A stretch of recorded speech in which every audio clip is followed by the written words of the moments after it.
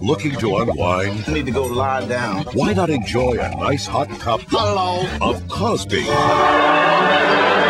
It's Cup of Cosby Week. The cappuccino's on us. but cafe's brimming with action, romance, Love is in the air. and boy, is it chock full of nuts. You know, Every day it's tasty comedy. with friendly service. This week on Cosby.